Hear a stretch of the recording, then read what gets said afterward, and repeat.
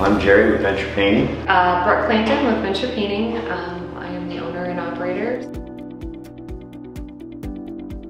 Basically, you've got your, your outside crews and your inside crews, and then normally there's crews that do kind of the final detail work. There's commercial work. I mean, paint goes on almost everything. You know, there's a wide range of areas you can go into. So production would basically be you're coming into a new home that's being built. So no surface has been treated at all.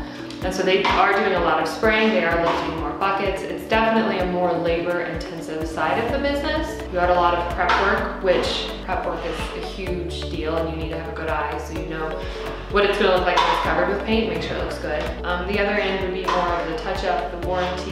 You're dealing with less big machinery and stuff. Uh, it's mostly brushes and rollers. It's, it's good to try and go through all those phases. It's a good job. It's not super heavy labor, which is good, so you're not lifting a lot of things. It's something that definitely a woman can get into. You know when you're working. You're not getting called in at odd hours. You don't have day schedules and night shifts where in other businesses you might. It's pretty, you know, regular 95 stuff. You're not in an office, so if you don't like office work, it's a great way to be out and about. You're always at a new house, doing new things.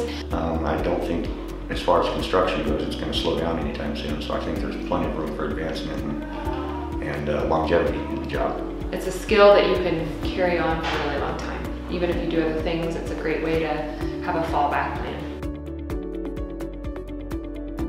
Approaching a painter and say, hey, are you hiring? Do you know someone that's hiring? Most painting companies, the first thing they're going to ask you is how many years experience do you have? That's why most people start on exterior crews because it's the easiest place to just get going. You go to any superintendent on a job site and they'd be able to point you in the right direction of who's hired and who's not.